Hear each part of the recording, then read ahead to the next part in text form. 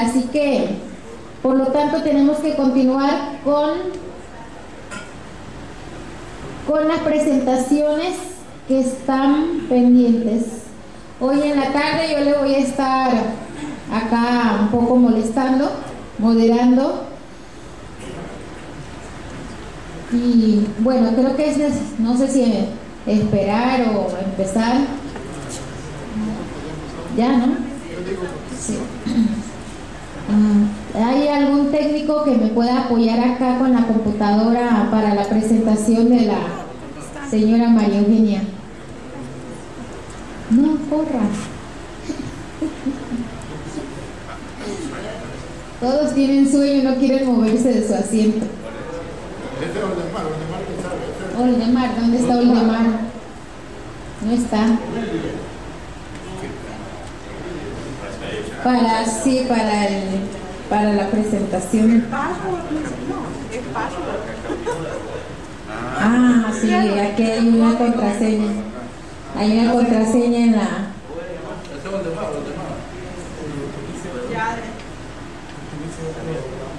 contraseña de quién es la computadora.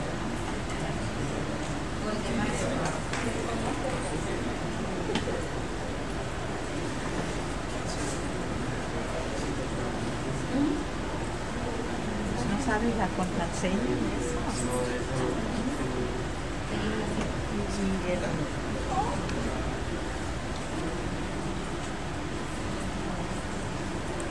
Sí, ¿o te cuál cuál es la contraseña? No. Ahí está. Ahí, ahí, ahí. Sí, no tenía contraseña. Bueno, bueno, gracias. No, no tenía. Ya lo, ya resolvimos acá. Sí, ya, ya. Hackeamos.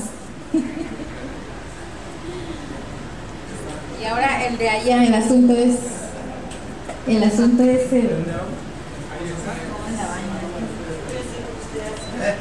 La apagué. ¿Cómo es eso de que las mujeres podemos, porque sabemos todo y que ¿Cómo es eso de que las mujeres Ay, ya va a boicotear. Ya va a empezar. Yo, su cerdo, por favor, vaya, toma su asiento. Bueno. Ya lo mandaron a saltar. Ya la. es que quería ver hasta dónde estaba todavía la disponibilidad de los caballeros en ayudar. Quería comprobar nada más. Ya, listo. Entonces, Ya está muy viejita. Vamos a empezar la tarde con la presentación de María Eugenia Choque, que es experta en el, en el, en el- dentro del foro permanente de las cuestiones indígenas, que va a iniciar su reunión en, que va a realizar su reunión en el mes de mayo, ella va a empezar su trabajo ahí de este periodo. Ella nos va a hablar sobre las resoluciones que se han emanado dentro del dentro de este espacio sobre el tema de áreas protegidas. Así que sin más, podemos iniciar. Tiene... A ver, déjenme ver.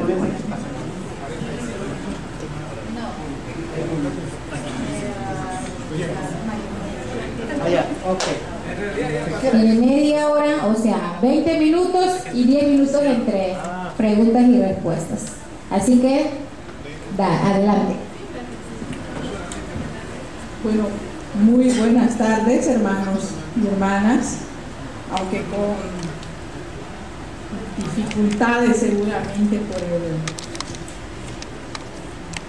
por el sueño o por el cansancio, pero vamos a iniciar.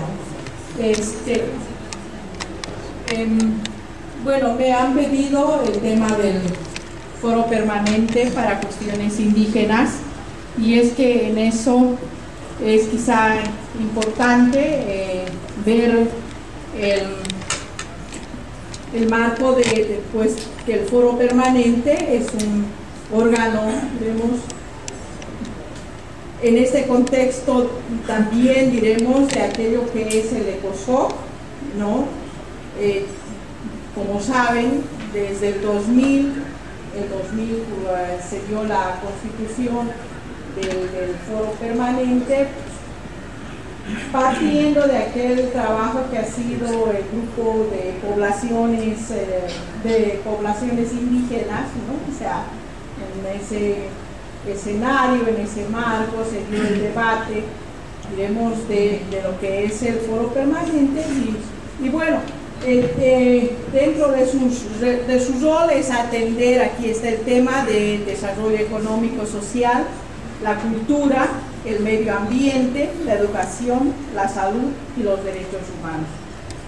Eh, han sido que los diferentes um, en las diferentes sesiones se ha ido enfatizando, diremos, en estos, en estos temas. Si ustedes entran a la página web del foro permanente, eh, van a encontrar, diremos, eh, pues tiene mucho que ver eh, con esta exposición que prácticamente está realizada sobre la base de, de, lo que es el foro permanente en el marco de, los, de sus mandatos. De, entonces, Dentro de uno de sus mandatos está que el foro permanente va a prestar un asesoramiento especializado y formulará recomendaciones sobre cuestiones, diremos, de pueblos indígenas en el marco de lo que son programas, fondos, proyectos en el sistema de Naciones Unidas. El otro punto es difundir, difundirá las actividades relacionadas con cuestiones indígenas y promoverá su integración y coordinación dentro del sistema de Naciones Unidas. Esto es el objetivo, diremos, de pues, tratar de que los programas, los proyectos referidos a pueblos indígenas, diremos, tengan un contexto de colaboración, de cooperación y tengan uno un objetivo también de que, se pueda, que puedan trabajar, diremos, direccionados hacia lo que son los intereses de los pueblos indígenas. Bueno, em, también está, se difundirá las actividades en el marco de una integración y coordinación, diremos, dentro del sistema de Naciones Unidas. Y por otro lado, esta preparará y difundirá información sobre cuestiones indígenas. Eh, como verán, es parte de la resolución de este e quebrado 2000, eh, quebrado INF, quebrado 2, que tiene mucho que ver, diremos, con aquello que, son, que es el mandato del foro.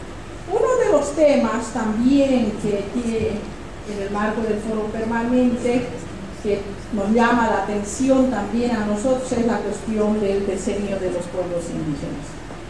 Ustedes saben que estamos ya finalizando el decenio de los, el segundo decenio de los pueblos indígenas, ¿no? Y obviamente este segundo comenzó el año 2005.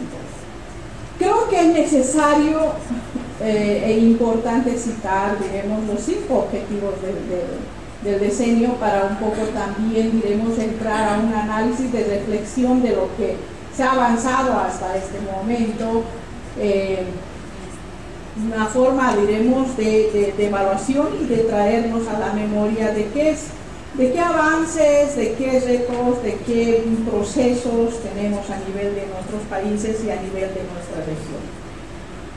Uno de los primeros objetivos es el fomento a la no discriminación y a la inclusión de los pueblos indígenas en la elaboración, aplicación y evaluación de los procesos internacionales regionales nacionales relativos a lo que es la legislación. O sea, esta, este, bajo este objetivo, ah, para nosotros ha sido muy importante exigir, demandar, incentivar, motivar a que exista una inclusión, diremos, de participación de pueblos indígenas y de mujeres indígenas. El tema de participación es como que así el abecedario dentro del movimiento indígena, una participación plena y efectiva, digamos, de los pueblos indígenas en aquellos aspectos relacionados, diremos, a lo que es nuestros, nuestro interés.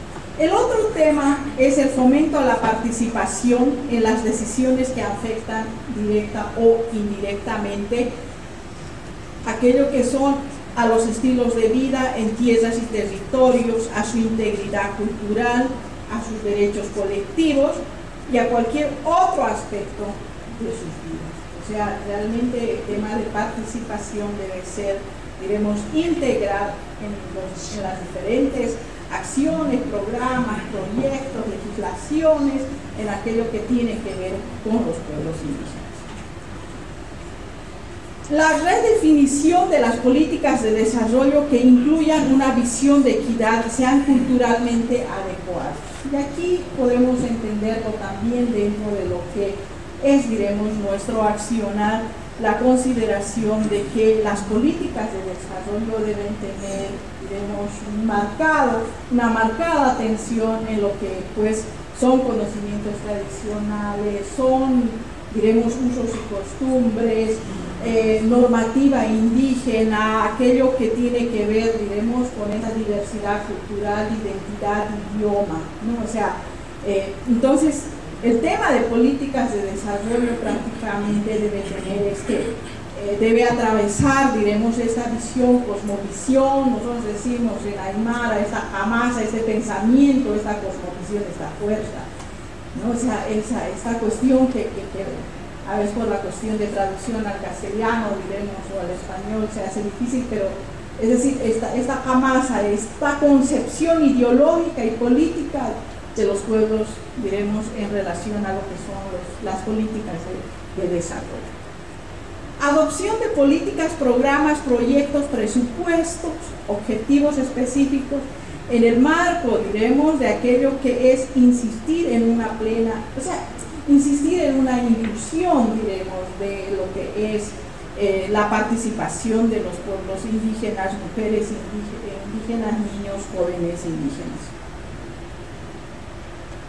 Otro de los objetivos es la creación de mecanismos de supervisión estrictos y la mejora de la rendición de cuentas a nivel internacional, regional, particularmente a nivel nacional, en lo que se refiere a la aplicación de las normas jurídicas y normativas. O sea, la experiencia de nuestros países es que está, tenemos mucha normativa, mucha normativa nacional que responde a intereses de los pueblos indígenas, pero también eh, somos conscientes de que está, hay una brecha, diremos, entre lo que es la normativa, las leyes, frente, perdón, las leyes frente a lo que es su aplicación. Ya la aplicación, diremos, o sea, se hace tan, tan, tan, tan difícil y está para reflexionar también en ese contexto qué es lo que está pasando, o sea, a nivel de la región, muchos países, en el caso de, de Bolivia, en el caso de Colombia, en el caso del Ecuador, hay pues una avanzada, diremos, en normativa indígena, pero ¿qué está pasando en su aplicación? ¿Qué, ¿Por qué? O sea, eh, son elementos, diremos, que nos dan para, para que nos permiten un análisis. Bueno, el otro punto que quiero tocar es, eh, viene ya la décima tercera sesión del foro permanente, que es, diremos, en, en mayo del 2014, y el, uno de los temas de atención es el tema de buena gobernanza acordes con la, declaración de, la Declaración de las Naciones Unidas sobre los Derechos de los Pueblos Indígenas en concordancia, ¿verdad?, con los artículos 3, 6 y 46. O sea, ese es el tema, diremos, que, al, que, al cual se va a dedicar en esta reunión. Eh, ya está una agenda provisional ¿no? Está, diremos, una cuestión de, como ustedes saben, la, es una agenda provisional que, pues, va a ser aprobada, pero está referida, diremos, a aquello que, bueno, es eh, el, programa en sí, el tema en sí, diremos, el, um, también va a estar dirigido, no es muy distinta a la que ha sido desde el 2010, donde se ha dado énfasis, diremos, sobre la Conferencia Mundial de Pueblos Indígenas, temas prioritarios actuales de seguimiento, estudios, diremos, estudios de casos sobre niños jóvenes indígenas. Se va a volver a tocar el segundo decenio internacional de los pueblos indígenas, la agenda del desarrollo, o sea, todos estamos preocupados y qué después del 2015 y qué después de la conferencia mundial. Entonces, eh, va a estar también enfocado en el, foro permanente dentro de, sus, eh, de su agenda para dedicarse exclusivamente al tema. Eh, diálogo amplio con los organismos y fondos de las Naciones Unidas, ahí las instancias del sistema de Naciones Unidas, diremos, en este proceso de crear alianzas, en este proceso de que los pueblos indígenas sí estamos, diremos, en las normas, pero a esas normas hay que ponerle también, vamos a decir, fondos, ¿no? O sea, para que realmente podamos avanzar. Entonces, eh, va dirigido a eso, o sea, los organismos y los fondos de Naciones Unidas también poder, diremos, eh, pues construir unas agendas eh, en colaboración y alianza, diremos, en aquello que viene a ser el, trabajo, como verán los temas son, son, son, son así eh, grandes, pero también a la vez, a la vez son temas de, pues, de interés que es, parte, diremos, de la vida de los pueblos indígenas. Asimismo, se va a presentar el, el, programa provisional, diremos, de lo que es la sesión del foro permanente, la aprobación del informe anterior que viene de la gestión del, 2003, que casi son los mismos puntos también en la agenda del, 2003. ¿no? Em, bueno, eh, dentro de lo que viene a ser, ¿qué se hizo? ¿Qué, qué, se hace y qué temas hemos ido tocando en relación al tema de áreas protegidas? Eh, como tema, diremos, principal o como tema prioritario, ha sido tocado en el séptimo periodo de sesiones, ¿no? del, 2, del 21 de abril al 2 de mayo, eh, que tiene que ver el tema de cambio climático, diversidad biológica y los medios de vida y la custodia de los pueblos indígenas, diremos, en nuevos retos. O sea, en este tema entra el tema de lo que también se habló, las recomendaciones están referidas al tema de áreas, de áreas protegidas. Eh, el sexto periodo de sesiones, el 2007, también en el tema de tierra, territorio y recursos naturales, se enfatiza también, diremos, hay recomendaciones referidas a lo que es áreas protegidas.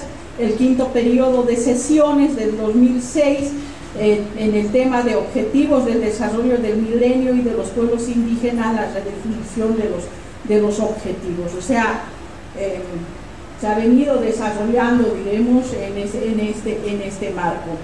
Ahora, dentro de todas las recomendaciones eh, hay elementos comunes, diremos, de que, bueno, la diversidad biológica en Avia Yala se encuentra indisolublemente asociada a la diversidad de culturas. Yo creo que de esa mañana y ayer hemos estado viniendo, pues hablando de que esta relación de, lo que es eh, pueblos, diversidad de culturas, vínculo con la madre tierra, donde se desarrolla conocimientos tradicionales, identidad, cultura. Son los elementos así comunes que sale cuando hablamos de áreas protegidas, cuando hablamos de tierra y territorio, cuando hablamos de conocimientos tradicionales, cuando hablamos de participación o eso. Entonces, hay, hay elementos de continuidad, diremos, de de voces que han ido pues enfatizando esto, ¿no? O sea, existe consecutivas veces el señalar estos temas. Posteriormente también está la importancia de la relación madre-tierra, resulta evidentemente, diremos, de una gran diversidad, o sea, no es lo mismo hablar, diremos, de tierras altas en el caso de Bolivia y de tierras bajas o de los y de los valles. Sin embargo, diremos esta relación recíproca con la madre naturaleza, con la madre tierra, conlleva, diremos, aquello que es este, eh, relaciones, eh, pues eh, gestiones de administración de sus recursos, este, procesos, diremos, de lo que son transmisión de conocimientos tradicionales, aquello que decimos procesos de educación, pues cuando viniendo de los pueblos indígenas, nosotros nos educamos en aquello que es, nosotros decimos el sarao, el camino, nuestro camino, nuestra, nuestra propia, vamos a decir, matriz civilizatoria. Pero cuando entramos al colegio, a la escuela, al colegio, universidad, diremos, sufrimos un proceso de deseducación, ¿verdad? Entonces, se ha venido insistiendo en que está el respeto de esta diversidad cultural y bueno, coincidiendo también con lo que en la mañana, diremos, se decía de que, bueno, alrededor de un 80% de las áreas protegidas en la región, diremos, están incluidos los pueblos indígenas. ¿Qué quiere decir? Que en la gran, diremos, los, los territorios de diversidad ricas en diversidad biológica, diremos, son prácticamente, hay una relación muy, muy, muy, muy estrecha de que pues son áreas protegidas, es decir, las áreas protegidas están en, territorios de diversidad potencialmente, diremos, ricas en biodiversidad.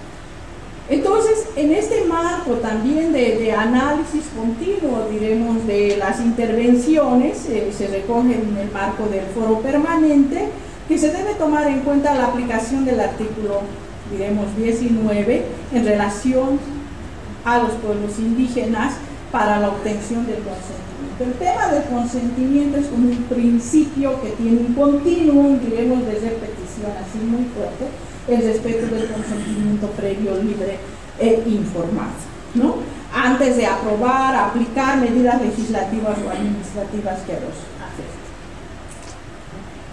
El otro punto es que recomienda el foro que las instituciones financieras internacionales adopten e incorporen el derecho de los pueblos indígenas respecto al consentimiento previo, libre e informado, sin restricción alguno en sus políticas de salvaguarda e instrumentos relacionados con los derechos. Hay una cuestión así muy, reiterativa, diremos, ¿no? El foro permanente recomienda a los Estados miembros que la Agenda para el Desarrollo después del 2015 adopte un enfoque basado en derechos colectivos, libre determinación, autonomía, consentimiento previo, libre e informado. Esto lo he tomado de, de las recomendaciones, no son palabras mías junto a determinar, sus prioridades de desarrollo, procesos de tomas de decisiones normativas en relación a gobernanza, desde procesos locales, nacional e internacional. Es decir, hay, digamos, eh, un llamado así para trabajar en el tema de, de gobernanza, con énfasis en el tema de consentimiento previo, libre e informado, y es decir, en el marco de considerar sistemas propios de organización. Es importante también considerar que el sistema de Naciones Unidas en los, en eh, pues se incentiva a que se pueda efectivizar la agenda después del 2015 bajo estos principios que estamos conversando. El foro permanente también recomienda a los Estados miembros que la Agenda para el Desarrollo debe reconocer derechos colectivos, derecho a la tierra, territorio, recursos naturales. Incorporación de los pueblos indígenas a lo largo del proceso después del 2015 y el apoyo del sistema de Naciones Unidas para asegurar la participación de los pueblos indígenas apoyo desde los gobiernos y el sistema de Naciones Unidas para el apoyo en comunicación, difusión en cuestiones referidas a pueblos. Las acciones de prioridad. Promover un intercambio de información y conocimientos tradicionales en la gestión de áreas protegidas en el marco de los derechos colectivos. O sea, esta es una cuestión, diremos, de reflexión a través de las recomendaciones de las áreas temáticas a través, diremos, de lo que, eh, pues, eh, la preparación de también de, la, conferencia, diremos, IFOS 2015, hacia dónde debe motivarnos, diremos, estos esfuerzos que venimos realizando, tanto nacional, internacional, regional, ¿no? Es que el tema de conocimientos tradicionales debe ser parte en lo que es la gestión de áreas protegidas en el marco de los derechos colectivos. Quizás Estoy hablando, diremos, de cosas así muy difíciles de hacer, pero yo creo que el sueño de los pueblos indígenas, diremos, en tanto que pueblos, en tanto que titulares de derechos, es una oportunidad, diremos, para avanzar en nuestras, en nuestras demandas. Estudios de casos sobre el tema de pobreza, porque el tema de áreas protegidas también es un, o sea, eh, es, un tema, diremos, de, análisis, si nos damos cuenta, en, sí, o sea, el tema de pobreza es un tema lacerante, pues, y ese tema de pobreza lamentablemente tiene un rostro de mujer indígena, ¿no? porque recae con mayor fuerza, diremos, el, analfabetismo, entre comillas, la falta, diremos, de oportunidades, recae en la en la mujer. ¿no? Entonces, el tema de pobreza, la falta de oportunidades, diremos, de formación, de empoderamiento, eh, eh, pues eh, inclusive el tema de la, injusticia del cambio, en el tema del cambio climático, ¿no? o sea, son parte, diremos, de lo que tiene que ver con este tema de la, de la pobreza. Pobreza también podemos decir, o sea que como los idiomas indígenas, con,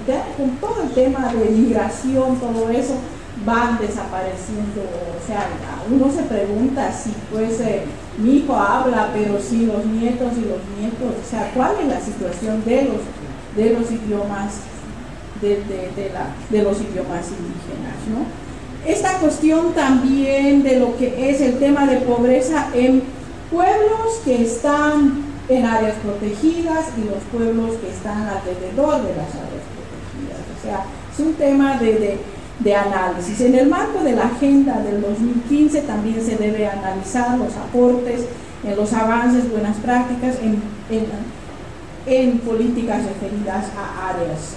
O sea, se puede hablar eso en la cuestión de, de avances, diremos, existen, qué retrocesos, qué procesos, por toda esta experiencia, diremos, diversa también que los países, los pueblos, nuestros hermanos han ido desarrollando, diremos, dentro de los parques, perdón, dentro de las, um, de las áreas protegidas. Trabajar en las recomendaciones del foro, a mí me gustaría, ¿verdad? O sea, eh, en el marco de lo que va a ser este, del mismo Congreso, podamos trabajar en ciertas recomendaciones que el foro, diremos, pueda pues hacer, pueda incluir, diremos, en, su, en, el evento de, mayo para que, bueno, pues eh, saquemos algunas recomendaciones específicas y concretas, diremos, de cómo es que el tema de áreas protegidas, gobernanza indígena, tomando en cuenta gestión y administración de los recursos, ¿no? O sea, el protocolo de Nagoya nos permite la administración, gestión de los recursos. Pero ¿qué de tanto eso tiene que ver en áreas protegidas, recoger estas buenas experiencias en procesos donde también están los hermanos, diremos, y bueno, eso de calidad de vida, ¿no? O sea, eh, relacionado a la cuestión de, pobreza, situación de conocimientos tradicionales en áreas protegidas, participación de mujeres indígenas en áreas, en áreas protegidas. O sea, para mí sería realmente interesante, importante, diremos, poder pues eh, algunas recomendaciones o resoluciones que puedan sacar, diremos, en relación a áreas protegidas, poder incluir en el marco del foro permanente y dar un pie de trabajo concreto, ¿verdad? Porque podemos estar acá, pero si no tenemos, diremos, recomendaciones concretas que alerten a los estados, que incentiven a la cooperación internacional y que motiven a los pueblos indígenas, a las mujeres, para seguir trabajando en el, tema. Muchas gracias. Bueno, muchas gracias María. Bueno, creo que va a haber preguntas o de pronto algunas, eh, algunas eh, ideas. En este caso quiero agradecer a María por presentarnos esta parte tan importante de un espacio que tenemos dentro del sistema de las Naciones Unidas y como ella lo ha presentado hay muchas recomendaciones eh, sobre el tema de áreas protegidas. Yo creo que son espacios o instancias internacionales donde hermanos y hermanas han estado trabajando y presentando recomendaciones a los estados y la idea es que muchas veces se preguntan cómo se aplica o cómo se implementa estas recomendaciones. quién le da seguimiento a estas recomendaciones que en un momento dado está dentro del foro permanente desde su creación hasta la fecha.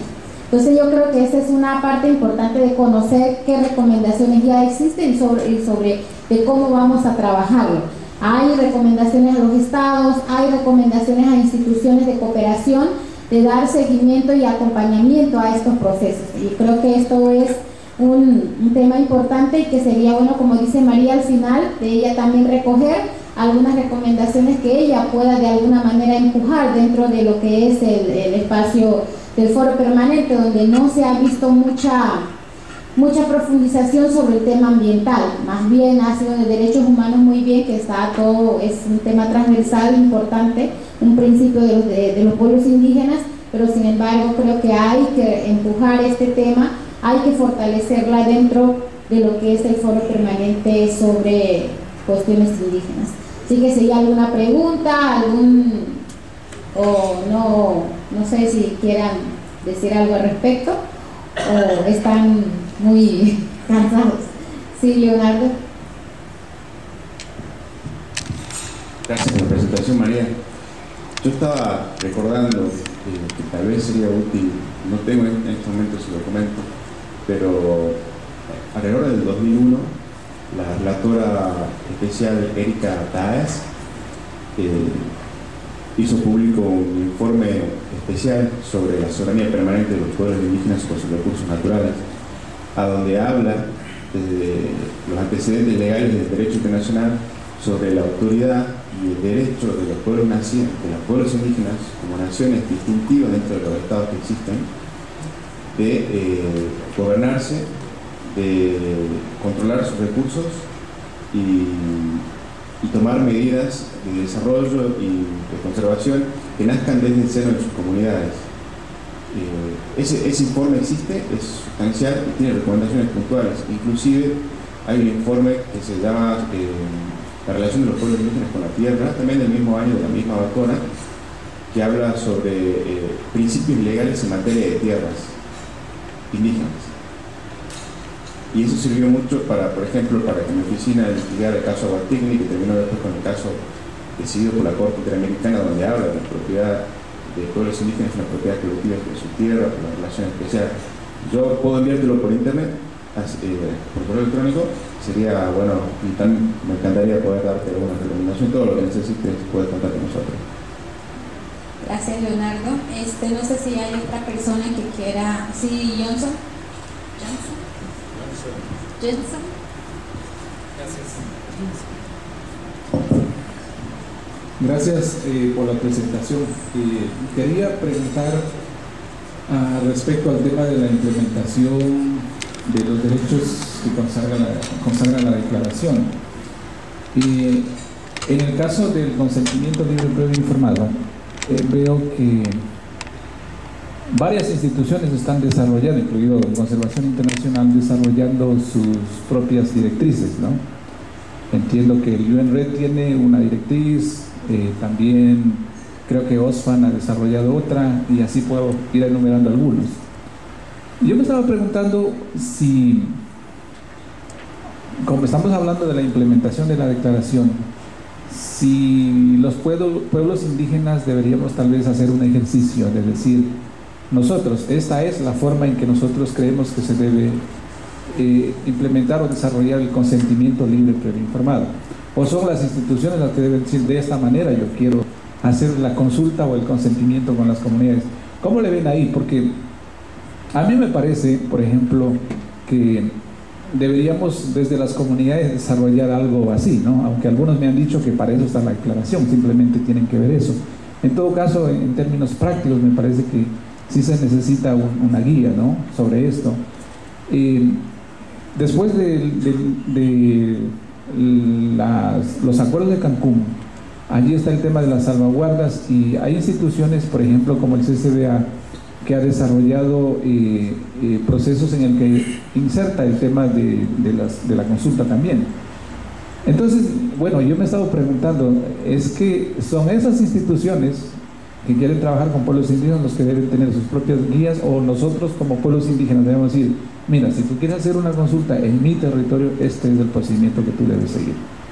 No sé cómo lo ven ustedes ahí. No sé si fui claro. ¿Sí?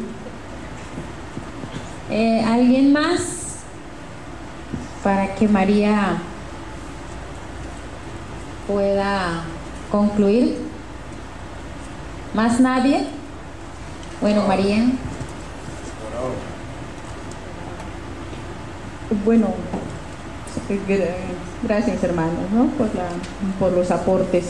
Eh, obviamente, eh, sí, revisando, es importante considerar el tema de, de, soberanía de los pueblos indígenas. ¿no? O sea, es un tema de reflexión y el informe de la señora Erika Daes eh, tiene que ver precisamente con, con, esto que va más allá, inclusive habla de la cuestión de los territorios ancestrales como una forma, diremos, de una cuestión que en la memoria histórica, o sea, sabemos que los, por la cuestión de procesos nacionales, por toda esa cuestión, diremos, de reducción de nuestros territorios, pues hemos sido, estamos, diremos, eh, existe mucha pérdida, diremos, de, territorios por distintas situaciones, ¿no? Cuestión de, políticas extractivistas, cuestión, diremos, de,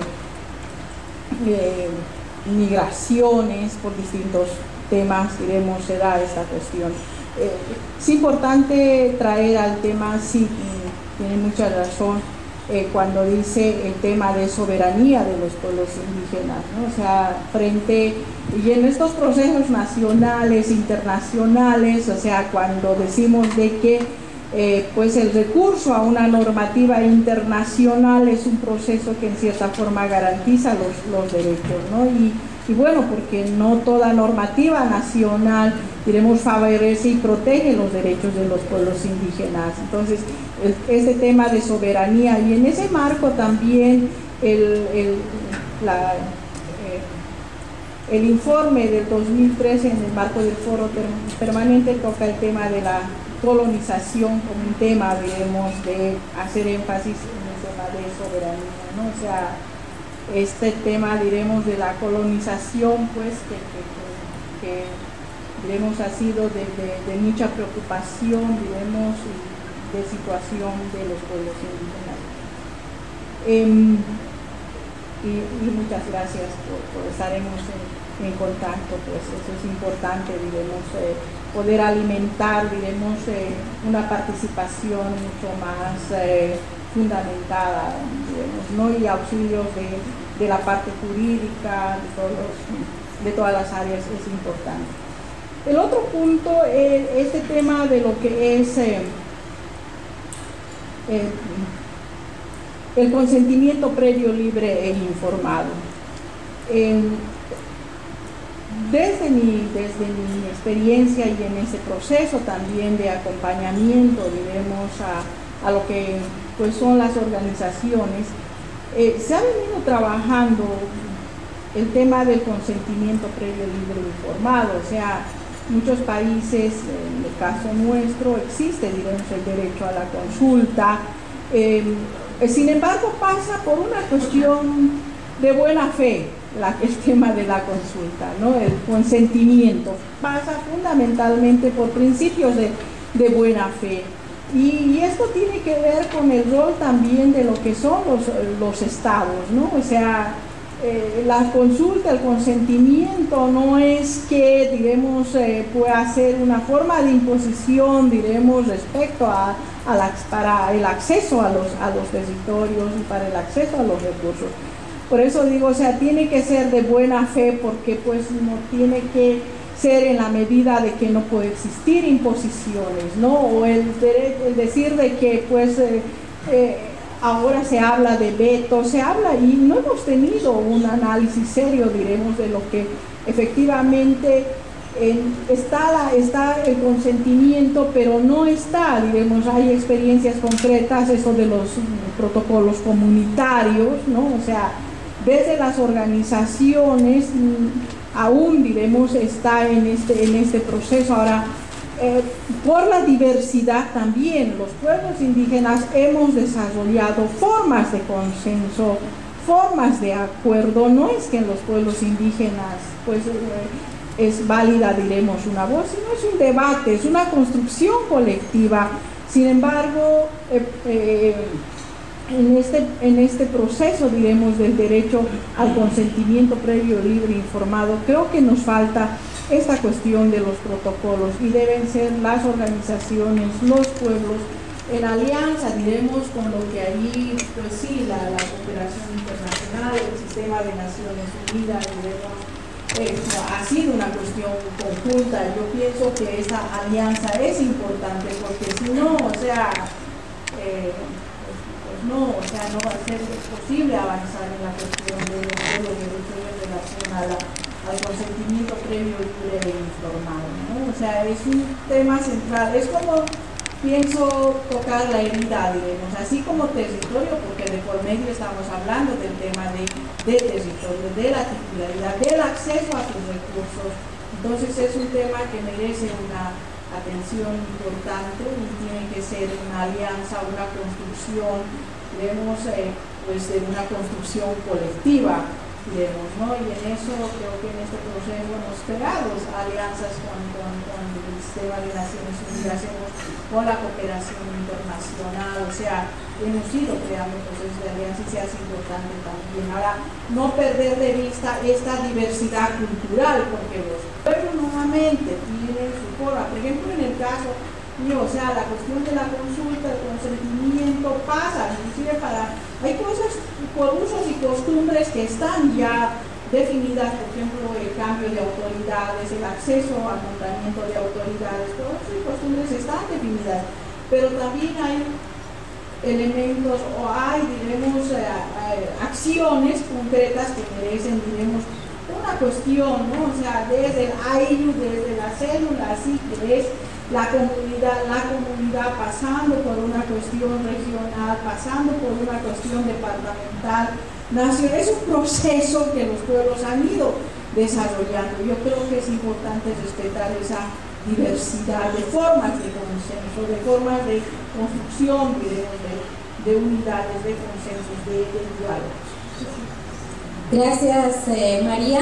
Eh, yo creo que sí es importante lo que planteaba Johnson en el sentido del tema del consentimiento libre, previo, informado, que es un debate todavía en construcción entre los pueblos indígenas.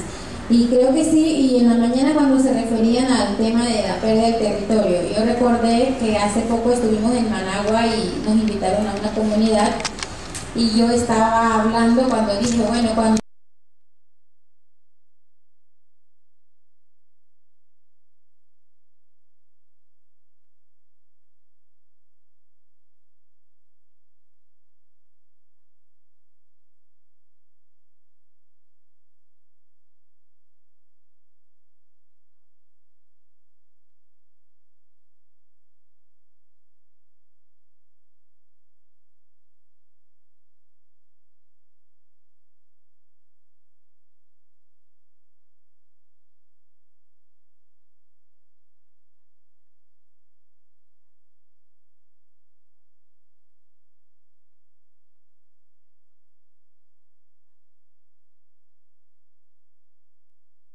también. Y dentro, pues como le decía, hay muchas recomendaciones que de pronto podríamos recuperar, rescatarlas y, fortalecerlas, porque no es como alguien dijo, no venimos a inventar de nuevo eh, el hierro o algo así. Entonces yo creo que es importante avanzar sobre eso y saber que pues de María, eh, la hermana María va a estar allí dentro del foro permanente por la región y que desde las organizaciones también la apoyemos con nuestras recomendaciones, darle insumos también para que pueda empujar el tema dentro del foro permanente. Así que un aplauso a María, muchas gracias por la presentación. Y bueno, continuando con nuestra agenda, primero nada más de saludar a las personas que se van integrando, personalidades también, a esta, a esta reunión preparatoria, podríamos llamarlo, eh, también está presente, no sé si todavía está, eh, eh, la periodista Catalina Montenegro, que es la coordinadora de ONU Red, que también está acompañándonos en esta, en esta tarde de la Universidad Estatal a Distancia. Así que la saludamos desde este espacio. No sé si está Aquí. ya sé. Ah, sí, está aquí. es ella, la, estoy buscándola ya. Ahí la tenemos aquí acompañándonos en, en esta tarde. Gracias por su participación. Y continuamos con el tema con el caballero Yader, que es, nos va a hablar sobre la estrategia indígena mesoamericana, sobre áreas protegidas y territorio del Polo Misquito. Por favor, Yader. Adelante. Un segundito mientras... Eh, solo un comentario esta es la continuación de la mañana. Oh, lo Sí, es que, bueno, le decía en la mañana que debemos ir identificando cuáles van a ser los aspectos que, que vamos a em, ir posicionando como agenda política. Ahora, lo que yo voy a compartirles son algunas acciones que hemos identificado en la región que pueden contribuir precisamente a mejorar la participación de los pueblos indígenas en la gestión de las áreas protegidas. Como principio, eh, solo les quería comentar que nosotros los pueblos indígenas por eh, desarrollo y evolución nosotros no tenemos una gestión que es como sectorial. Nosotros tenemos gestión integral, holística. Por eso la visión de desarrollo, por ejemplo, no solo se enfoca en lo económico, o no solo en lo social, o no solo en lo ecológico, sino que integra todas las dimensiones, porque no somos cartesianos. O sea, la herencia del cartesianismo de la ciencia cartesiana es hacer las cosas separadas, disgregadas. Lo que nosotros hacemos por conocimiento hereditario, vamos a decir, es ver las cosas sistémicas. Entonces, pongo esta foto a propósito porque no podemos imaginarlo las áreas protegidas de la región sin ver los territorios indígenas. O sea, nosotros trabajamos territorios indígenas, un proyecto de autonomía, donde las áreas protegidas, como vimos en el mapa de la mañana, pues eh, tienen una alta incidencia. El objetivo estratégico que hemos desarrollado aborda que hay que fortalecer la gestión de los derechos de administración tradicional de los pueblos indígenas y, su biodiversidad desde la filosofía y cosmovisión. Es fortalecer siempre el plan político de los pueblos indígenas. Eh, y entonces, como objetivo operativo, es, es participar más, con más capacidades en las políticas de la región, de cada país y internacional sobre la conservación, uso sostenible, pero para esto hay que mejorar las capacidades de las instituciones de ejercicio eh, de los derechos sustantivos, como territorio, libre determinación, consentimiento libre previo informado, protección de conocimientos tradicionales y la cultura. Hemos identificado hasta ahora cinco ejes tierra y territorio, consentimiento previo libre e informado, gobernanza, soberanía alimentaria y conocimientos tradicionales y acceso y distribución equitativa a los beneficios eh, de, los pueblos indígenas. todo esto es un borrador, sientan y tengan la libertad de, cuando trabajemos en grupo, de rayarlo, quitarle, ponerle, porque la agenda debe ser de todos y no solo de los pocos que hemos podido ir este, sumando en lo anterior. Para tierra y territorio, algunas cuestiones generales van por, por ejemplo, que la Comisión de Ambiente y Desarrollo, el CCAD de la región, debe de trabajar las políticas, integrar los temas de demarcación y titulación como política ambiental de la región. Eh, nosotros vimos, y no le hemos dado énfasis hasta ahora, pero dijimos, como dice el especialista en sistema de información geográfico, me dijo, este 42% de la superficie de las áreas protegidas en territorios indígenas es un dato SIC. Es, más, es probable que sea más, pero es un dato SIC, es lo que tiene la computadora integrado. nada más que eso, para tener un número. Pero no pusimos lo que son los corredores biológicos. Entonces los corredores biológicos todavía le dan más relevancia a los territorios indígenas en tema de áreas protegidas. Entonces, no puede ser que si un órgano de definición de políticas regionales, sea el CCAD, y está en tema de discusión fortalecer el proceso de demarcación y titulación de tierras en la región, el CCAD no lo tenga como una agenda de prioridad. Entonces este es un primer paso que debemos de dar a lo interno regional del CCAD. Segundo, que hay que articular los mecanismos de gestión de las áreas protegidas. La autonomía que tienen pueblos indígenas en Panamá tienen modelos eh, que pueden ser retomados. La autonomía de los pueblos indígenas y afrodescendientes en Nicaragua también tienen contribuciones. El modelo de organización en la mosquita hondureña de los pueblos indígenas y el control que están teniendo cada vez más sobre los territorios tienen contribuciones. Entonces hay que provocar la discusión de cuál va a ser el modelo de gestión de las áreas protegidas desde los pueblos indígenas, diseñar unos elementos mínimos que podamos irlo posicionando en la agenda política de país y de la región. Eh, hay que seguir trabajando en la legislación de las áreas protegidas. No puede haber todavía en Centroamérica reglamentos vigentes de áreas protegidas para hacer planes de manejo para legalizar áreas protegidas, para decretar áreas protegidas, que todavía tengan en duda o discusión la, titulación de tierras y territorios indígenas. Hay que legalizarlo en los instrumentos legales del país, en la ley y en los reglamentos, que todas las áreas protegidas que son y declaradas o a declarar en territorios indígenas debe de estar ya con un mecanismo claro de demarcación y titulación.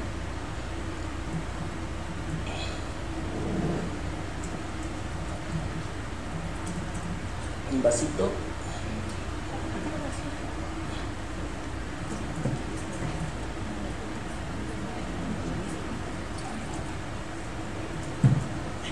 Sobreviviendo a, una fuerte gripe.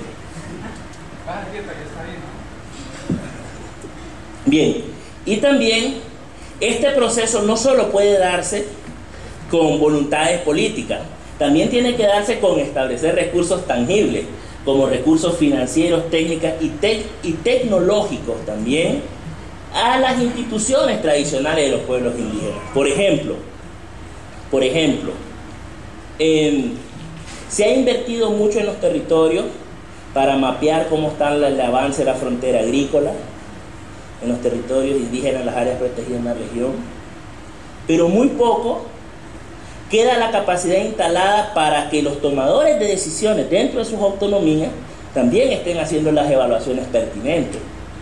Entonces hay que instalar también la capacidad en las instituciones de gobernanza para el control de los territorios. Entonces esta es una cuestión que debe irse fortaleciendo con la atención de recursos financieros y técnicos para las organizaciones y las instituciones indígenas.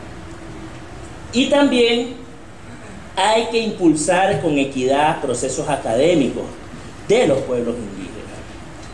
Eh, no puede ser que haya un desbalance regional si con solo el 40% de las áreas protegidas fueran en territorios indígenas, ni siquiera hay una equidad proporcional de todo el debate, entrenamiento, capacitación que están recibiendo funcionarios y otros tipos de actores que no estamos accediendo a los pueblos indígenas. Tiene que haber una condición de equidad también en esta distribución de oportunidades, recursos y, mejorar las capacidades. Y también eh, hay que trabajar cuáles son los mecanismos para trabajar con la cooperación internacional. Hay serios, serios casos de divorcios. O sea, es más, nunca hubo noviazgo entre la cooperación y sus intenciones en las áreas protegidas con los pueblos indígenas. Caso GIZ, por ejemplo, ahora se llama GIZ, antes se llamaba GTZ cuando era más difícil en, en Río Plata. em, los, impactos también que, trajo la, relación de la cooperación danesa en la Reserva Indio Maíz en Nicaragua, por ejemplo. O eh, las políticas con gobiernos locales de la USAID en, en el altiplano guatemalteco, que no necesariamente eran trabajar descentralización con pueblos indígenas. Entonces, estos, estos impactos también obligan que tenemos que trabajar un mecanismo de relación con la cooperación internacional en el tema de áreas protegidas. En consentimiento libre previo, que es donde quizás tenemos menos experiencia articulada, como lo vieron en las presentaciones anteriores, también hay que trabajar el, tema de protocolos en la región, subregionales también, porque eh, la escala geográfica de los territorios indígenas en Centroamérica y México crea subregiones. Por ejemplo, el Petén y la península de Yucatán es una subregión. Eh, la, zona de influencia entre la reserva de biosfera de Bozaguas y la reserva de Río Plátano es otra subregión. La reserva de la amistad entre la zona de Honduras y, perdón, Costa Rica y Panamá es otra subregión. La escala de la, de de área protegida del Darién son escalas de, regiones.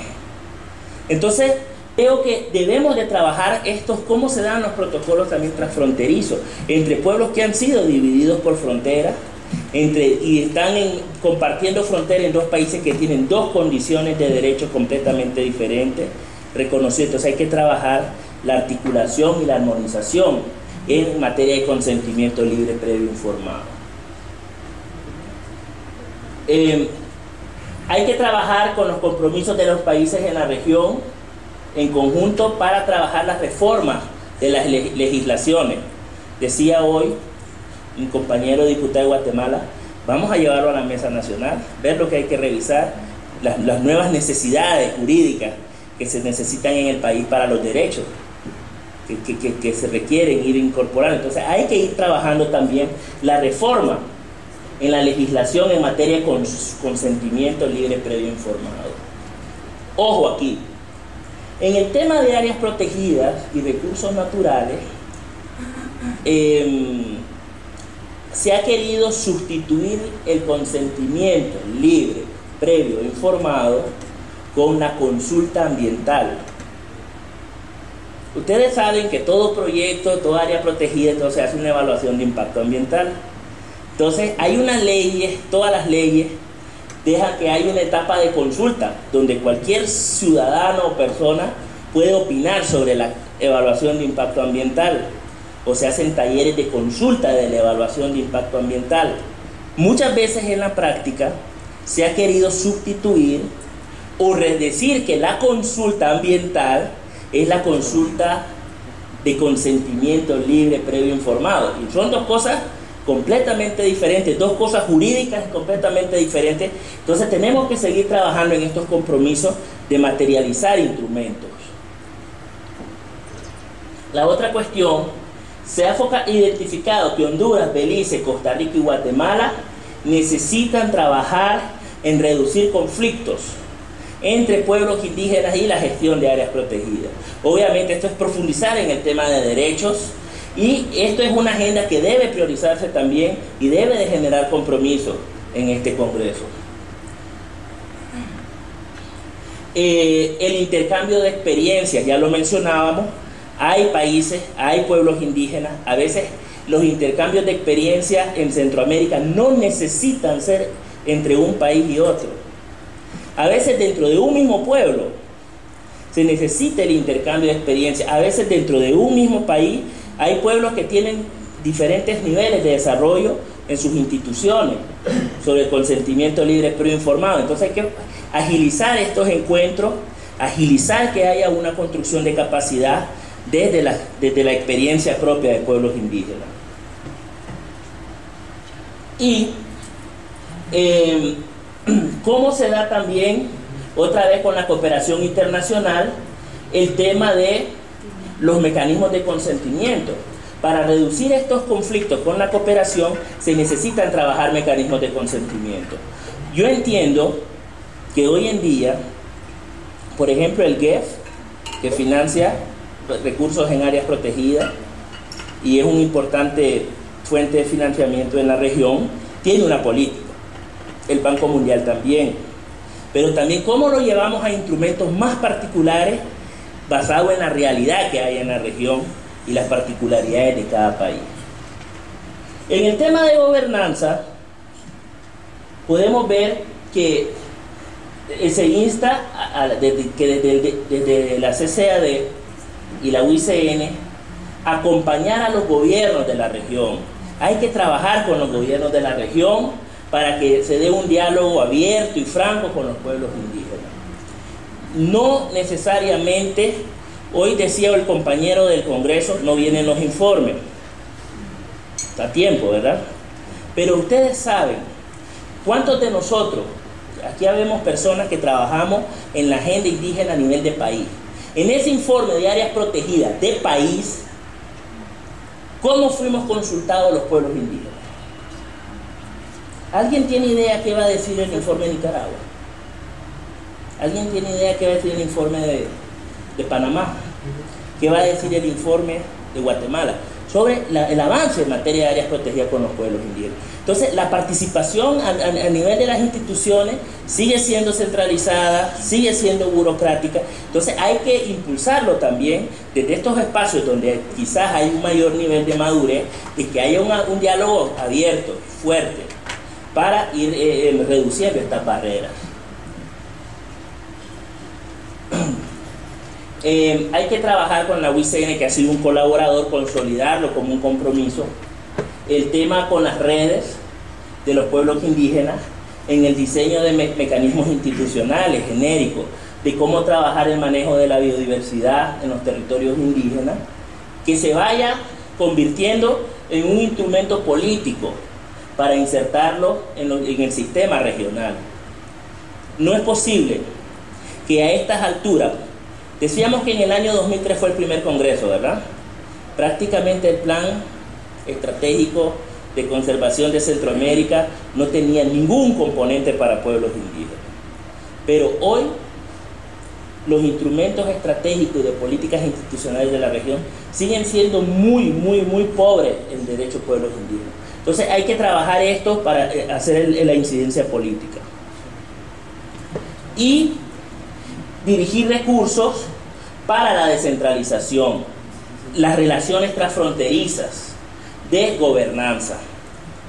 Eh, los pueblos están siendo en las áreas protegidas transfronterizas severamente presionados por uno de los lados de, los países donde, donde normalmente donde sea más débil la legislación. Digamos, el caso de Bozaguas, que es la frontera de Río Coco en Nicaragua con Honduras. Como la legislación es más frágil en Honduras, el frente de, de, ganadería que está creciendo en la reserva y en los territorios indígenas es en el lado de Honduras, fuertemente. Entonces, ¿cómo se puede trabajar estas relaciones binacionales fuertes en materia de gobernanza?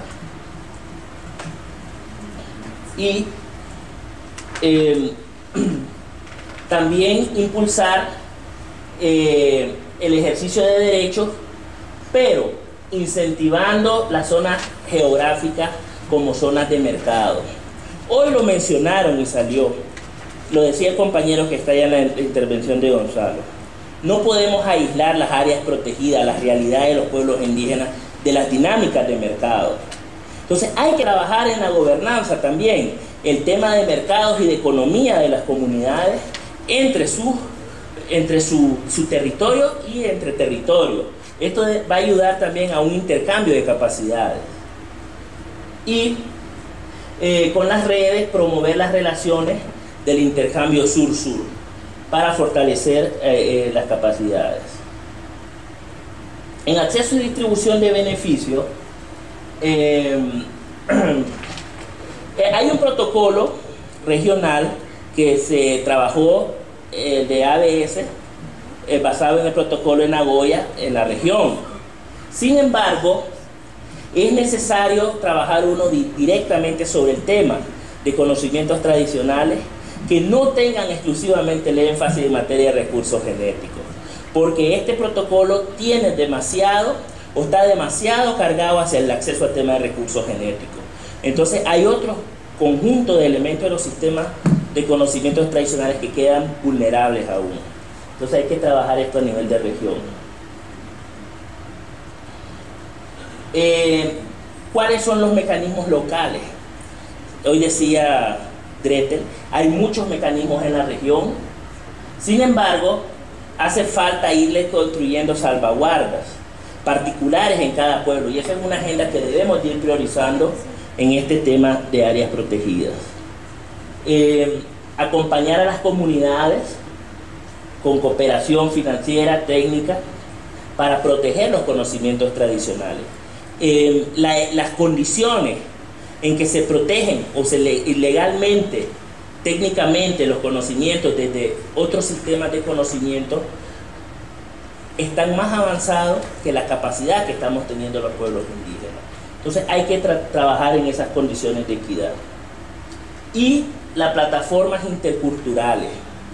No, no todos los sistemas los podemos proteger con un estado básico de conocimientos que tenemos ahora.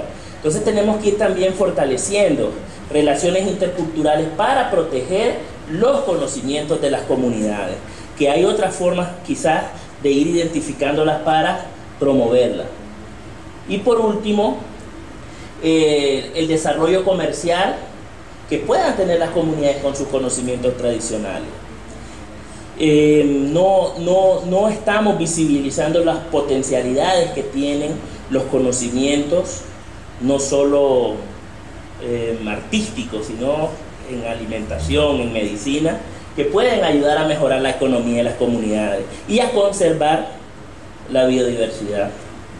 Entonces son temas que debemos ir incorporando. Y para concluir, em, hay una línea, una serie de acciones, em, obviamente se basan en las que hemos mencionado anteriormente, como trabajar la titulación, los mecanismos de proteger los derechos territoriales, mecanismos de planificación de territorios y siempre capacitar a la gente de las comunidades con sus instituciones para seguir mejorando las condiciones de control de territorio frente a nuevas dinámicas. Eh, eh, em, la reforma de normativas en la región, eh, mecanismos de consentimiento, como mecanismos de consolidar las autonomías de las instituciones, modelos de gobernanza para las áreas protegidas, en cuanto antes empezaras a trabajar, em, y los intercambios como una manera de consolidar las redes de capacidades aplicadas en materia de gobernanza. Eh, el diálogo regional es importante em, y que este diálogo regional para proteger los conocimientos eh, vaya generando también un tejido de pueblo, generando eh, un acuerpamiento de cómo proteger los conocimientos tradicionales dentro de los miembros de un pueblo o entre pueblos indígenas. Aquí podemos ver también que no hay políticas desde las áreas protegidas o desde la gestión de la biodiversidad en la región que incentiven el desarrollo y protección de las prácticas tradicionales. O sea, muy poco tienen acceso los pueblos indígenas a una, a, todo pues, pero a una ventanilla de recursos técnicos o tecnológicos para eh, organizar bien una un cierto práctica o conocimiento.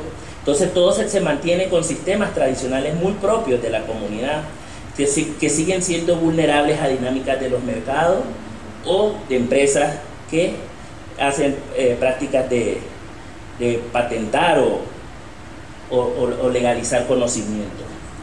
Entonces, hay una tarea vieja, muy vieja, Florina, desde que empezamos el inventario de prácticas y conocimientos tradicionales.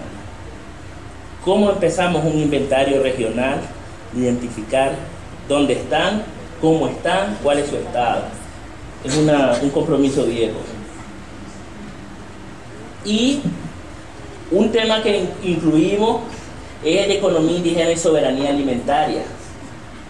Este es el tema central que a nivel de territorio se vuelve una prioridad en el diseño de modelos de ordenamiento de territorio, de construcción de planes de vida y todas estas cuestiones. Entonces, eh, es importante ver que hay que trabajar la sistematización de las estrategias comunitarias, eh, cómo se, se protegen hoy en día frente a todo este tema de cambio climático, el tema de riqueza genética en semillas y, bienes para la agricultura, eh, cómo se trabajan los protocolos de planes de vida desde una relación propia de las comunidades como centro de los diseños de planes de manejo. Eh, siempre seguir trabajando el tema de los corredores, corredores comerciales que tienen los pueblos indígenas y sus relaciones de conocimientos tradicionales transfronterizas. Y por último, pues eh, hay que seguir fortaleciendo las capacidades, pero muchas veces creemos que las capacidades solo deben tener la dirección hacia los pueblos indígenas. Pues yo creo que es el momento de también direccionar hacia los funcionarios que tienen los gobiernos, que tienen la cooperación, que tienen los organismos no gubernamentales. Hay que direccionar capacidades hacia ellos también, para que puedan entender, comprender y trabajar más en, sintonía con lo que son desafíos de los pueblos indígenas en sus territorios para la gestión de las áreas protegidas. Em, impulsar la cátedra indígena a, a miembros de gobierno sobre el tema de gestión de áreas protegidas, que es alto el impacto en Latinoamérica, porque eh, la UI pues, tiene un impacto a nivel regional latinoamericano, que pueden retomarlo. Eh, trabajar los sistemas de información geográfico, también a escala de modelos que puedan ser manejados por los propios territorios y obviamente los indicadores de éxito.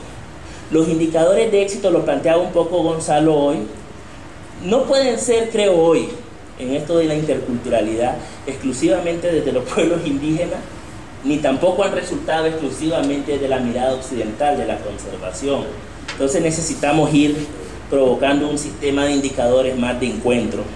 Entonces esos serían los elementos que están en la agenda y que espero que podamos eh, ir socializando y discutiendo y en los trabajos de grupo enriqueciendo, quitando, borrando, poniendo, pero que, que asumamos compromisos.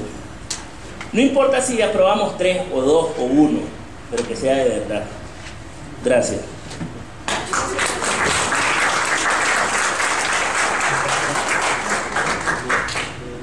Gracias Yader por la presentación. Como él dijo, esto es un borrador, una propuesta de una estrategia mesoamericana. Así que si quieren hacerle preguntas, aclaraciones, vamos a tomar tres preguntas primero luego vamos a ver si ya se puede hacer la segunda ronda por el tiempo. A ver, eh, Toño. Gracias. Eh, muchas gracias, hermano Yader. Es un, trabajo bastante completo y con mucho eh, investigación y trabajo de sistematización. ¿Dónde está? Ah,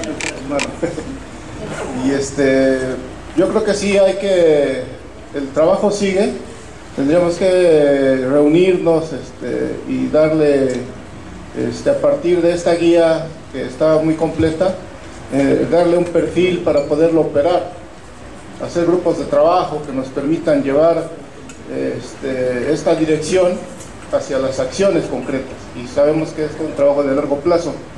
Este, disculpa hermano, yo tuve que salir dos veces a atender el llamado de la naturaleza y a lo mejor no, sí este, mostraste lo que yo no vi pero lo que me doy cuenta es que está dirigido siempre el concepto de áreas protegidas hacia la administración o la operación del Estado. No sé si se haya identificado la posibilidad de, de crear protocolos o formas de que pudiera haber áreas protegidas comunitarias. Eh, no lo sé, en el caso de México ya hay algunas que no son lo que nosotros quisiéramos. Hay muchísimas, muchos candados para que podamos nosotros eh, poderlas operar y es muy difícil poder este, obtener una autorización del Estado para que haya una área protegida comunitaria, pero sí es algo que podría incluirse dentro de, de estos temas. Gracias.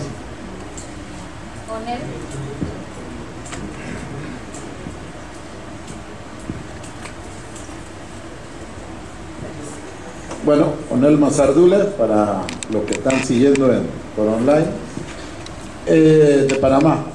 Eh, mira, ella de nada más quería preguntarte, yo creo que ha sido un trabajo muy excelente. Solamente me tiene en duda una cuestión.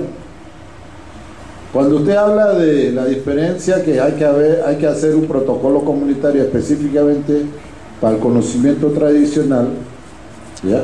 ¿De qué manera diferencia con los protocolos que se está haciendo de acceso a recursos genéticos y conocimiento tradicional? Teniendo en cuenta que pues, si hablamos de conocimiento tradicional es amplio.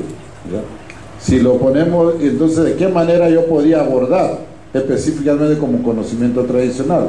Porque no estarías duplicando el mismo protocolo, porque la experiencia a mí nos me indica que un protocolo, por más que le pone su nombre, los pueblos indianos lo utilizan de acuerdo a su realidad y no necesariamente tiene que ser eh, específico. ¿ya? Un caso específico, le digo, en, Panamá, el pueblo Cuna tuvimos la experiencia con la empresa Cocoahuel. Hasta ahora nadie ha hablado de un protocolo sobre el uso de información de imagen de los pueblos indígenas. Y esa empresa, cuando la autoridad tradicional se dieron cuenta, estaban comercializando cacao utilizando la imagen y la información. Y nosotros con el borrador que estamos trabajando y estamos esperando para ver si el Congreso Cuna nos lo adopta, el protocolo comunitario, utilizando algunos puntos del protocolo se pudo negociar y se logró un acuerdo utilizando esto. Entonces, no sé de qué manera va a ser la ventaja de tener solamente sobre conocimiento tradicional teniendo en cuenta que nosotros vemos de una manera más holística los puntos que tratamos como pueblos indígenas. Gracias, Jonel. ¿Alguien más? Donald. Donald.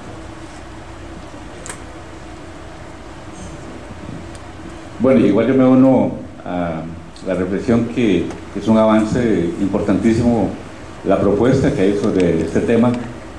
Y como no está en la presentación, tampoco lo vi en el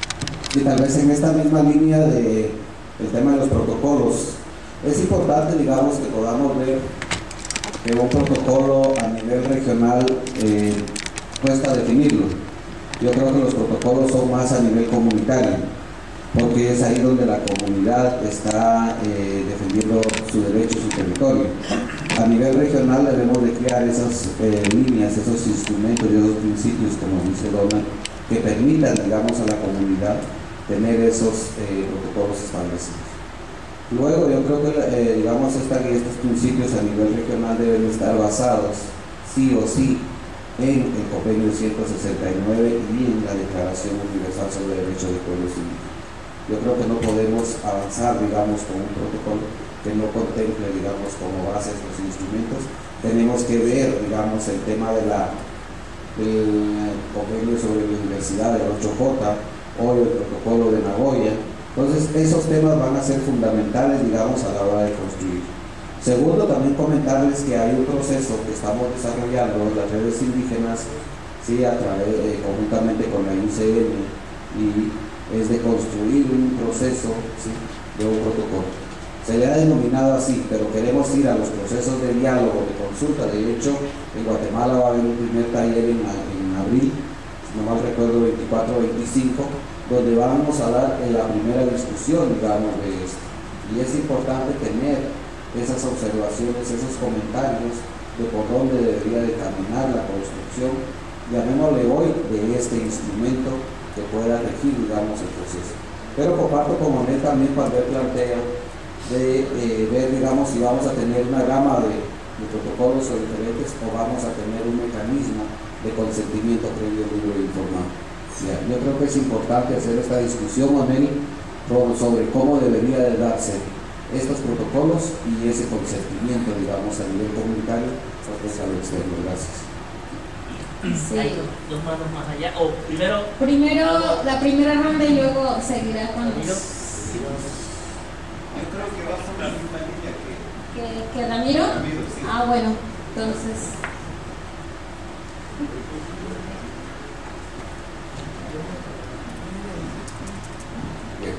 Eh, yo considero de que sí, también como sugerencia para todos y para todas, que sería bueno de que también haya una socialización de experiencias entre representantes de, cada país. Eh, la Comisión de Ambiente del Congreso de la República de Guatemala juntamente con SOCIL y toda la organización indígena de Guatemala, que tiene que ver mucho con el tema medio ambiente. Ya se tiene preparado una propuesta de iniciativa de ley sobre la categoría de manejo. Y real es, es ahí donde existe la verdadera participación y el verdadero sentido de de resguardo y de, como de apropiación de los territorios de parte de, las organizaciones indígenas. Yo sí pediría pues a, Ramiro tal vez socialice esta experiencia, básicamente lo que se está teniendo y afortunadamente eh, como que estamos logrando el, e, el eco necesario desde el alto organismo del Estado para que se vea su discusión, no solamente su discusión, sino también su aprobación ya pronto, porque es de verdad vemos nosotros de que sería como el anillo al dedo como para perfeccionar la cuestión esta de, de las áreas protegidas. Gracias. ¿Ya?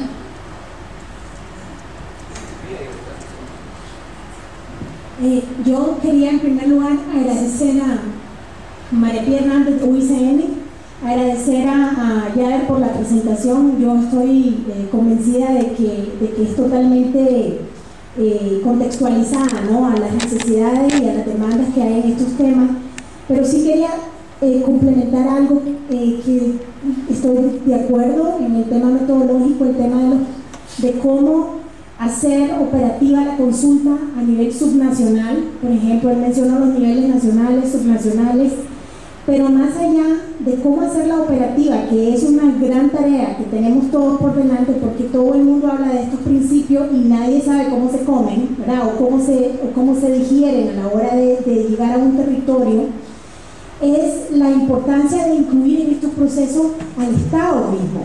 Porque si nosotros lo dejamos a nivel metodológico y a nivel conceptual, a nivel de los territorios, es excelente ese proceso como una, eh, una reflexión social de lo que debería ser la consulta, pero a nivel de anclarlo a, la a, la legislación como una obligación del Estado hacerla, ese, ese proceso es un eslabón que creo que lo tenemos un poco a veces invisibilizado, porque la parte social, la parte de construcción es una parte de la tarea, pero luego la parte de cómo elevarlo, hacer realmente un precepto de ley y cómo operativizarlo a través de los operadores de justicia, es ahí donde yo siento que tenemos, eh, digamos, el reto, si no el más grande, el reto que, que realmente lo hemos invisibilizado mucho ¿no? en estos procesos, eh, porque hay que pensar y hay que estar claro que esta obligación es una obligación estatal. Entonces eso no podemos, eh, digamos, subsanarlo de una forma como que ya teniendo el protocolo a nivel de nosotros, y eso lo vemos, por ejemplo, lo que ha pasado en Guatemala con el tema de la autoconsulta que se han denominado, ¿verdad? Que, se le, que aunque rellenan todo ese requisito, se les ha quitado, digamos, eh, el valor legal ante el Estado porque no han sido parte de, o sea, hay un truco ahí, no siempre, pero yo creo que llamar la atención a ese punto del involucramiento del Estado en estos procesos. Gracias. Gracias. Eh, bueno, Yader.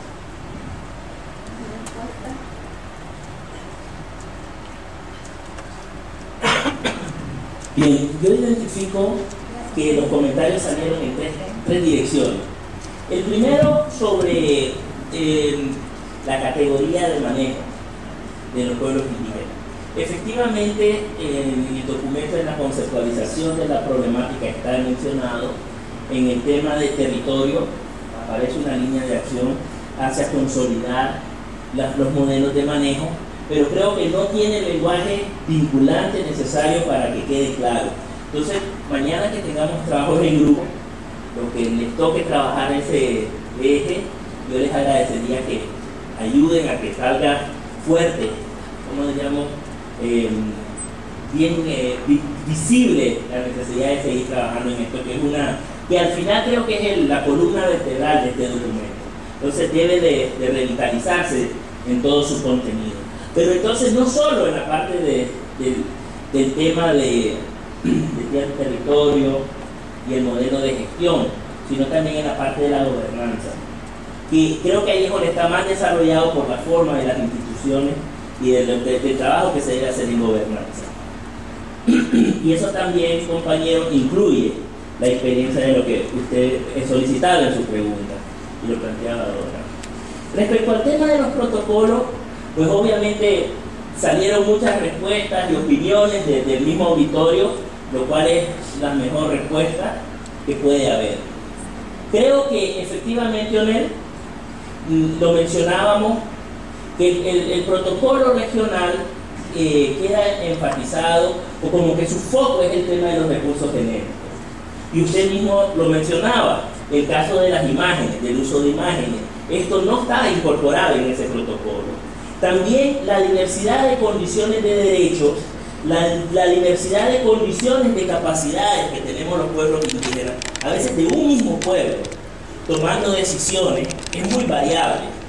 Entonces, lo que puede llevar el protocolo es a tener un estándar mínimo que debemos de garantizar. Y que sea siempre un estándar mínimo pero no un estándar máximo que limite derechos como es la preocupación que plantea Donald entonces eso lo debemos de cuidar que sea un estándar mínimo y no el, el absoluto y segundo que también al llevarlo a experiencias particulares y locales puede contribuir que pueblos donde sus condiciones de derecho no están tan garantizadas, puedan empezar a desarrollar también una capacidad particular sobre ciertos intereses que tienen. Ahora, el tema de la consulta no solo pasa por el tema de la conservación, hay temas de consulta que van a variar también por naturaleza de recursos. Si es una de dimensión macro como una petrolera, si es como un tema macro de una minera, o el tema de una hidroeléctrica, o el tema más pequeño que puede ser de una concesión forestal o también un cambio de uso de suelo drástica como poner palma africana, va a cambiar. Entonces debemos de asegurarnos que haya unas condiciones mínimas que puedan ayudar al pueblo a empezar a protegerse por la dimensión también que tienen los tipos de programas que se están consultando con o de proyectos. Entonces es una preocupación que hay no dudo que este tema tiene que seguirse profundizando y después del tema de manejo, categoría, tiene que ser el tema de la consulta uno a priorizar aquí con acciones claras que debemos acordar en este, este, en este proceso que estamos ahora. ¿Ya? Bien, ¿Contestaste a todas las preguntas? bien, muchas gracias. Bueno, gracias, Yader. Este, solo quería concluir con este, con este tema, que esto lo vamos a imprimir. Como lo dijo Yader, en el camino se va a ir mejorando. Pero esto sería como un resultado, un primer paso para poder presentar como una propuesta ante los estados. Así que esto no está cerrado, esto va a ir mejorando, eh, recibiendo más, eh, podríamos decir, más carne en el camino para poder llegar a, a tomar en cuenta todas las recomendaciones que puedan surgir en el proceso. Pero vamos a tenerlo como ya impreso mañana y presentarlo. Así que muchas gracias y bueno, continuamos. ¿Qué hora es? A ver. No hay café, eso sí le advierto. No hay café. Eh, podemos parar por 10 minutos para que puedan ir al baño, hacer un relax y continuamos inmediatamente porque estamos atrasados con los. Bueno, 5 minutos porque luego llegan en 10.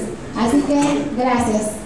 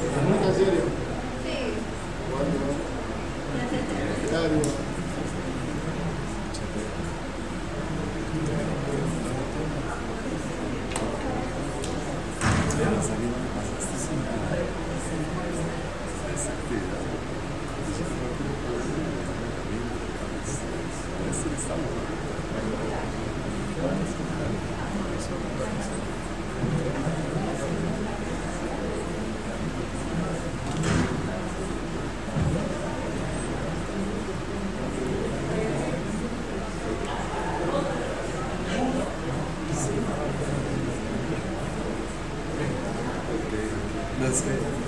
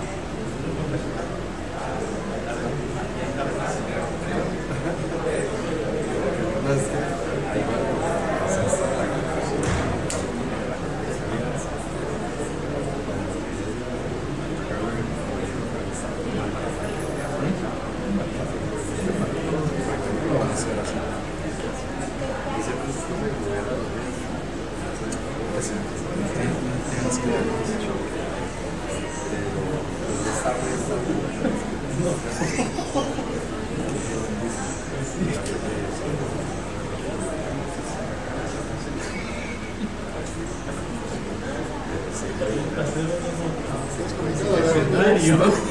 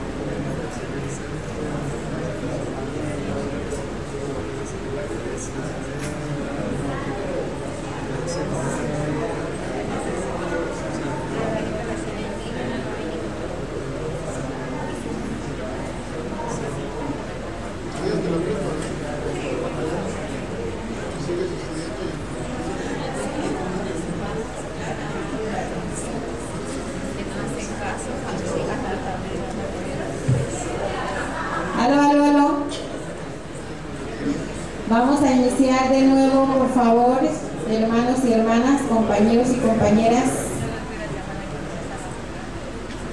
Por favor, si pueden llamar a las personas que están afuera, que si pueden entrar ya. Que ya vamos a empezar. Pues iniciaremos con la presentación de la Agenda Indígena Mesoamericana que acá el coordinador del el consejero mayor de SICA nos lo va a presentar. Es una agenda que se viene armando desde hace muchos años y que por tanto pues eh, él nos va a presentar los elementos principales que contiene la agenda indígena y que esta será lanzada el día jueves.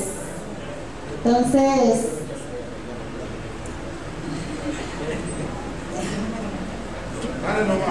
Bueno, entonces le doy la palabra aquí al consejero mayor de SICA. Amílcar, por favor, Amílcar. Venga, su casa. Es que yo sé que están cansados, pero hay que darle un poquito más. Mire, ahorita el lanzamiento de la agenda va a ser el día jueves, pero muchos hermanos y hermanas no van a estar. Entonces solo vamos a dar los elementos, este, cómo está estructurado lo que es la agenda mesoamericana, que bien lo ha dicho este, Florina, se ha construido desde hace mucho tiempo, pues entonces ahorita estamos haciendo el lanzamiento de ella. Démosle.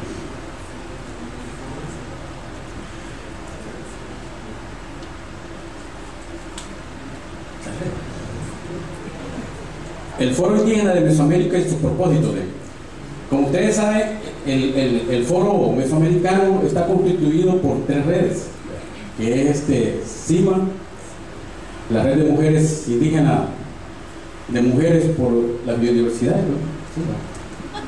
el SIC, el Consejo Indígena de Centroamérica. ¿Qué es lo que se busca con esto? Tener un posicionamiento a nivel de la región porque la agenda lo que nos va a servir es que los temas prioritarios que tenemos en la región de Mesoamérica, poder que la cooperación, cada una de las cooperativas, hay que de cooperación, y está GIZ que me está diciendo de que ya necesita la agenda porque para ver qué componente ellos van a poder este, financiar, o sea, de que eso es bueno, para que ya, ya, ya la, cooperación esté ya apuntándose sobre eso. Este contexto es parte de lo que viene dentro de la agenda, el contexto regional de los pueblos indígenas. Somos 65 pueblos indígenas a nivel de la región, donde se practican mucho los conocimientos y prácticas tradicionales. Nosotros con esta agenda también pretendemos de que dar a conocer tanto a la cooperación como a otros hermanos de la ONG, cuáles también los conocimientos y saberes que como pueblos indígenas tenemos, pues porque muchas veces hasta se desconoce eso. Dentro del contexto político, los estados muchas veces no reconocen que existimos, el caso de El Salvador. No tenemos un marco jurídico que reconozca que los pueblos indígenas existimos, a pesar de que la propaganda y en las agendas de los políticos aparece ahí que va a haber un reconocimiento de pueblos indígenas, pero ni siquiera constitucionalmente no han querido reconocer. Bueno, ahorita eh, se ha hecho todo un esfuerzo a nivel de, de las organizaciones en El Salvador que la reforma ya, se, ya, este, se encuentra solo para ser ratificada. Pero más sin embargo no sabemos si en este periodo que, que tenemos va a ratificarse. Pero está también Belice y Panamá, que no se ha reconocido, no se ha ratificado, ni se ha firmado ni ratificado el convenio 169. Tenemos modelos de políticas económicas de los estados basados en modelos de libre comercio, privatización, incentivos de industrias activas y, y energéticas. Es un problema grande que nosotros lo hemos tomado también dentro de lo que es la agenda mesoamericana. ¿Cuál es el impacto que las industrias extractivas están ocasionando en las comunidades y pueblos indígenas de Mesoamérica?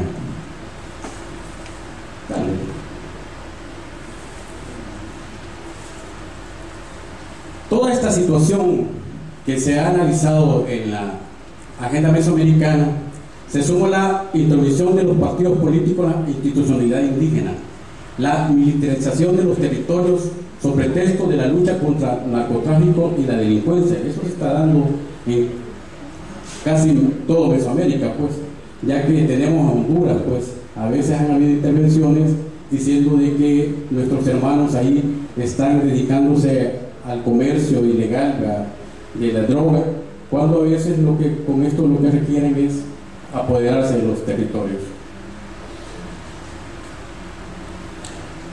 También en la agenda se contempla los derechos de los pueblos indígenas. Y aquí es donde vemos este, que los estados han avanzado e incorporado el reconocimiento de derechos colectivos de pueblos indígenas, más sin embargo, el problema existe que no se, o sea, los estados, su aplicación, la aplicación y puesta en vigencia de estos derechos es nula. Porque hay muchos estados aquí a nivel de la región, bueno, aquí en Costa Rica también, estábamos hablando ahí con la Mesa Nacional Indígena, donde pues sí ha habido un avance, pues se tiene el reconocimiento, pero más sin embargo no se aplica.